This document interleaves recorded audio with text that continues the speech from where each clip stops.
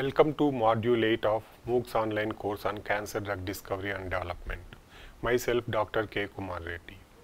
In this module, we are going to discuss on ligand-based drug design, different methods available in ligand-based drug design that we can use in drug discovery workflow and virtual screening. If you remember from the previous lecture, computer-aided drug design is an approach which uses the knowledge of target and ligand molecule in the process of drug discovery workflow.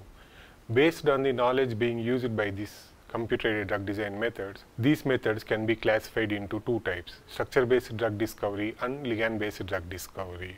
We have discussed about structure-based drug discovery in the previous module. Now, in this module, we are going to briefly discuss on ligand-based drug discovery. Ligand-based drug discovery is a method where we use the knowledge of known active compounds that bind to the target of our interest in the drug discovery workflow. Ligand-based drug discovery is used when there is no prior knowledge of the receptor structure. To use ligand-based drug discovery, at least we need one active compound that is known to bind to the target of our interest. Ligand-based drug design is an approach used in the absence of the receptor 3D structure structural information and it relies on the knowledge of the molecule that bind to the biological target of interest. These methods use a set of reference structures collected from different studies that are known to interact with the target of interest, analyze their 2D and and 3D structure. The overall goal of these methods is to represent these compounds in such a way that physicochemical properties most important for their uh, desired interactions are retained whereas extraneous information not relevant to the interaction is discarded. Ligand-based drug discovery is based on similar property principle which states that molecule with structurally similar are likely to have similar properties. Two fundamental approaches of ligand-based drug discovery are selection of compounds based on chemical similarity of known actives by using some similarity measure. The second approach is construction of a model that can predict the binding activity of unknown molecules from their chemical structure. Ligand-based drug design methods use different methods for describing the features of small molecules using computational al algorithms that balance efficiency and information content. Molecular descriptors or features can be structural as well as physicochemical and these descriptors are generated by using knowledge-based molecular mechanics or quantum mechanics based methods. And molecular descriptors can be classified based on their dimensionality as one dimensional, two dimensional and three dimensional. The examples of molecular descriptors include molecular weight, volume, surface area, rotatable bonds, electronegative, symmetry, functional composition, solvation properties and many others. So coming to methods that are available in uh, ligand-based drug discovery, there are three different methods in ligand-based drug discovery. The first method is molecular fingerprint and similarity search. And the second method is quantitative uh, structure activity relationship. And third method is pharmacophore modeling. Coming to molecular fingerprint and similarity search method, these molecular fingerprint based techniques attempt to represent molecules in such a way as to allow rapid structural comparison in an effort to identify structurally similar molecules or to cluster collections based on structural similarity. These methods are less hypothesis driven and less computationally expensive than pharmacophore and QSAR based methods. They rely entirely on the chemical structure and omit the biological activity of the compound, making this approach more qualitative. Additionally, fingerprint-based methods consider all parts of the molecule equally and avoid focusing on only part of a molecule that are thought to be most important for its biological activity. Unlike uh, similarity search based methods, QSAR and pharmacophore uh, modeling methods consider physicochemical properties most important for their desired interaction and by discarding extraneous information not relevant to the desired interactions. So the second ligand based drug discovery approach which is pharmacophore modeling. Pharmacophore modeling is based on the principle that if a group of ligands are known to inhibit a particular biological target, this means all these compounds that are inhibiting the biological target should possess some common physicochemical properties that, that may be responsible for the observed biological activity. The typical types of interactions recognized by pharmacophore modeling include hydrogen bond acceptor, hydrogen bond donor, ring aromatic feature, hydrophobic interaction, positive and negative ionizable properties. So pharmacophore map mapping or modeling involves basically three processes. Finding the features required for particular biological activity, determining the molecular conformation required, developing superposition or alignment rule for this series of compounds. All these methods use activity in the development of pharmacophore model. We can generate two different types of pharmacophore model. One is qualitative pharmacophore model, other one is quantitative pharmacophore model. Generating qualitative pharmacophore model have the uh, active ligands. In this method what we do is we take the active ligands, try to identify what are the common physicochemical properties that are present in the group of ligands that we have taken. So it basically gives what are the physicochemical properties that are necessary for any compound to interact with the target of our in. The second method is quantitative pharmacophore model. For generating quantitative pharmacophore model, we need to have a set of ligands that are known to inhibit the target of our in. The ligands, the set should be structurally very diverse and should and should cover wide range of activities. So let us consider if you have a compound with a specific structural scaffold and known to have a biological activity activity against a target. If you don't include this particular compound in your uh, pharmacophore model generation, you will miss the compounds in the database that have similar structural fold. For successful pharmacophore model generation, we need to have a good set of starting structures. The overview of how pharmacophore based uh, model is generated can be seen in the figure. So first you have a set of molecule from which we can generate a pharmacophore model. Then we use this pharmacophore model to screen a database of compounds, identify hit compounds. The identified hit compounds again were then biologically evaluated to identify lead compound. If the, any of the hit compound has is biologically active, you can use the newly identified in the initial set of compounds again and again you can generate a new pharmacophore model. This cycle we can do, we can perform until we get a compound which has good biological activity against your target. In the a typical pharmacophore can be seen in the figure. This pharmacophore has been generated against human phylohypoxenesis.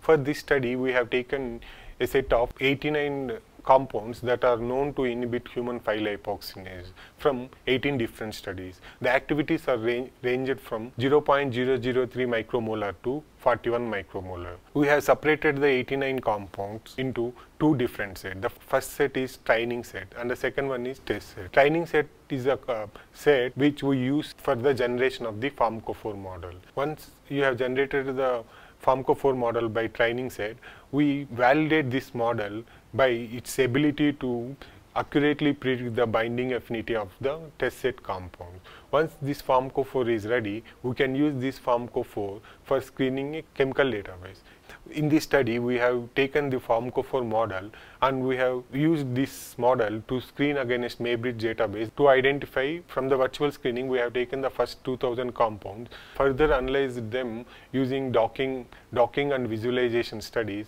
and selected 15 compounds, out of which we have ordered 5 compounds and evaluated their ability to inhibit human phylohypoxenase. Out of the 5 compounds tested, 2 compounds showed inhibition against human phylohypoxenease with an IC50 values of 14 and 35 micromolar. Another most important thing we need to remember in pharmacophore model is pharmacophore model is not only about the chemical features but also the orientation of these chemical features. Pharmacophore model we have generated against human, human phylohypoxenease. We have identified four chemical properties that are necessary for inhibiting the human phylohypoxenease. The four physicochemical properties are two hydrogen bond acceptor which are uh, represented in green color, one ring aromatic feature which is represented in red and one hydrophobic feature which is represented in cyan. Coming to third method of ligand based drug discovery which is quantitative structure activity relationship.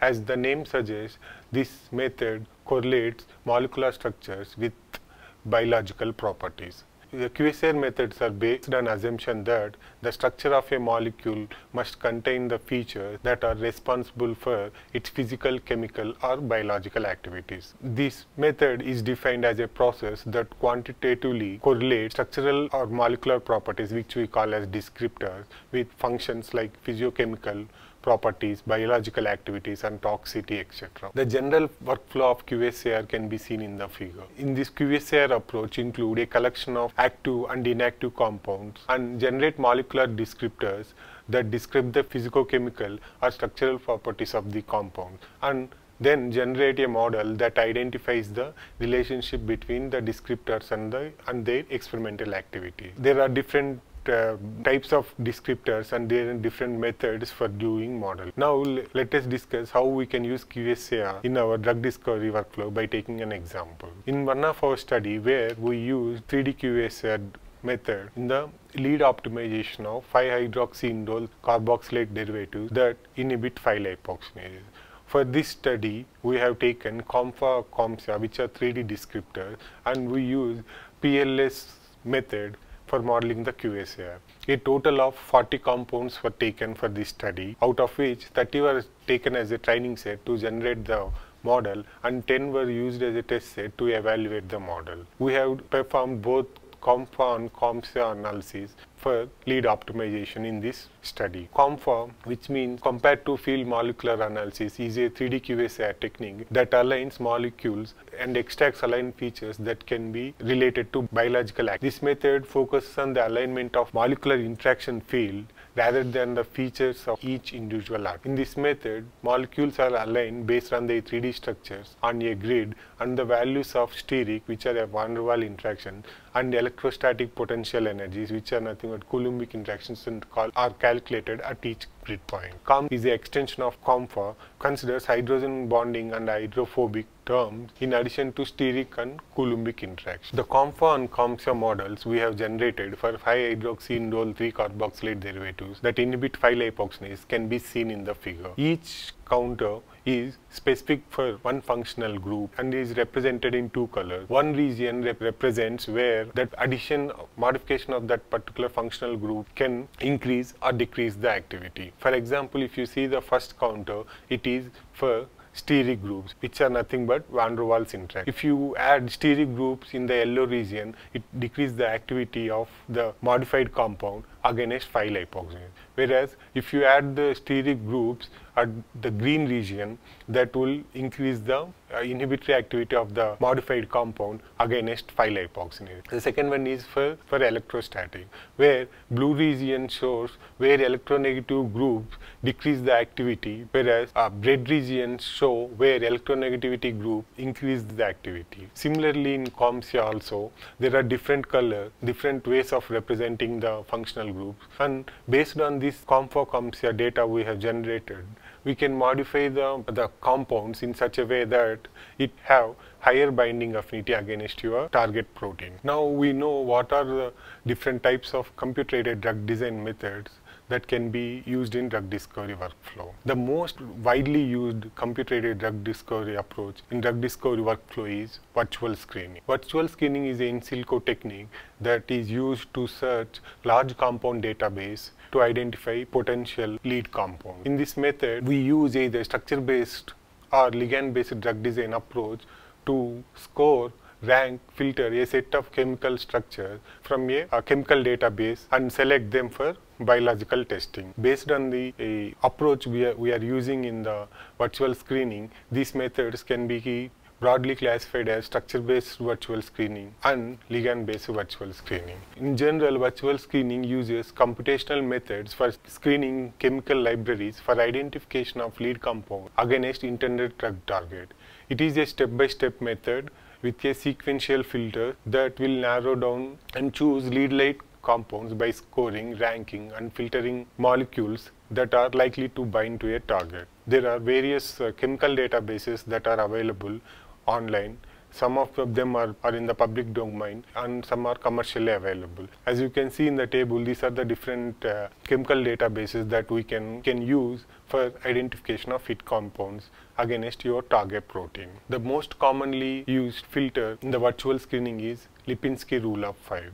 Lipinski rule of 5 defines the druggability of a novel chemical compound. So rules include log, log p value less than or equal to 5, molecular weight less than or equal to 500 Daltons, number, number of hydrogen uh, bond acceptor less than or equal to 10, and number of hydrogen bond donors less than or equal to 5. If a compound follow the above mentioned rule that the, the compound has better doing structure based virtual screening we can use either docking based we can use docking or receptor based pharmacophore modeling in the virtual in this study the authors used molecular docking approach for virtual screening to identify novel EGFR tyrosine kinase inhibitors. They have taken the crystal structure of EGFR kinase and they have screened SPECS database that contains around 2 lakh compounds and identified 43 hit compounds out of which 13 compounds showed inhibition against EGFR tyrosine kinase. Coming to the next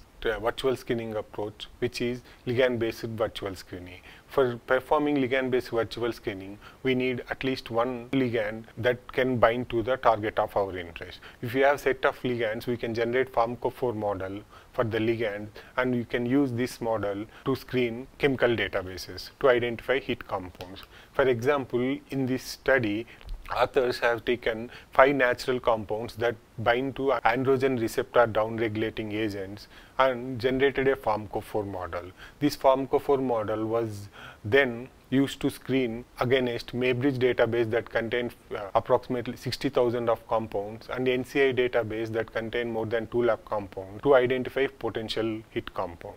This search resulted in identification of five novel compounds that showed inhibition values in micromolar range. I hope by end of this lecture you got a basic idea of what ligand based drug discovery approaches are and how you can use them in drug discovery workflow. In addition, I also hope that you got a basic idea of what is virtual screening, how we can use virtual screening in drug discovery workflow. Thank you.